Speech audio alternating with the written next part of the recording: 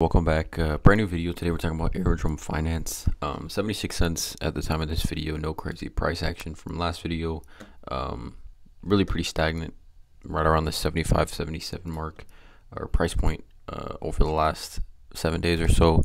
Over the last month, it's down around 38%. Um, and you can you zoom out over the year, uh, 100, 730% um, in the green we can see here trading volume sitting at just around 14 million um, and the market cap 385 million. Holder count continues to grow. I mean the holder count has no problems growing.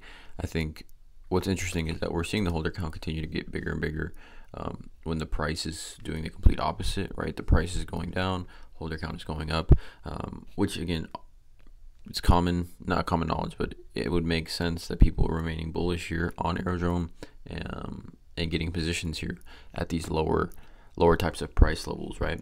Um, and again, I mean, as far as Aerodrome updates, right, and news coming out of Aerodrome that could potentially be bullish, um, it's those continue to happen, right? Unrivaled rewards for the VE Aero voters, right? I talked about this in the, in the previous video. 86.1 million total rewards for the Aero voters.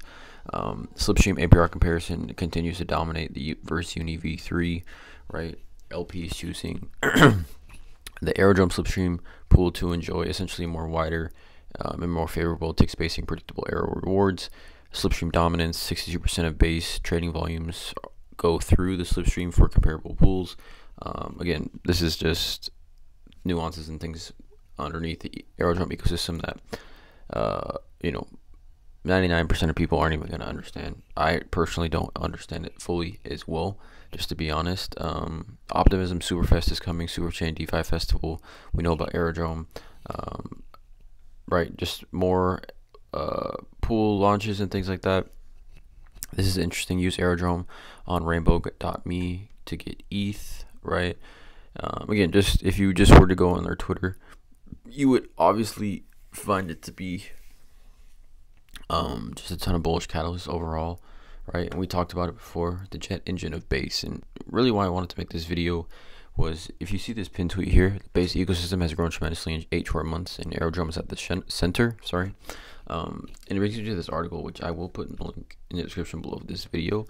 But one year since Base's Genesis block, here's how the chain became Ethereum's number one, number two, sorry, layer two by the numbers. Okay, so Base created its Genesis block around a year ago. This article came out uh, just I believe 10 days ago. So um, here's how Coinbase built network surpassed its rivals metrics from transaction count to TVL by the numbers. But before I get into this, right, like I've been same concept narrative that I've been talking about a while for a while when it comes to Aerodrome is Aerodrome's gonna grow with base, right? And I feel like I'm kind of beating a dead drum to a degree on this, but Aerodrome is gonna grow with base. It's gonna continue to grow with base, and base just saw it's kind of essentially its one year anniversary um, Aerodrome, I think, is maybe two or three months behind Aero uh, Base. Sorry.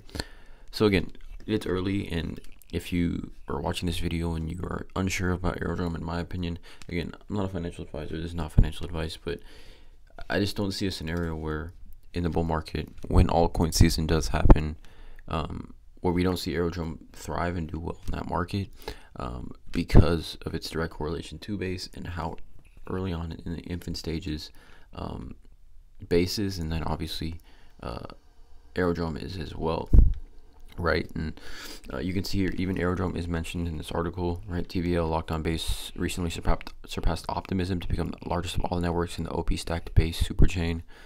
Um, all the pro, although the protocol still ranks behind Aerodrome and Blast for TVL. DV, uh, DeFi Llama, which I believe there should be a link here. The TVL locked for all chains. I've shown this before.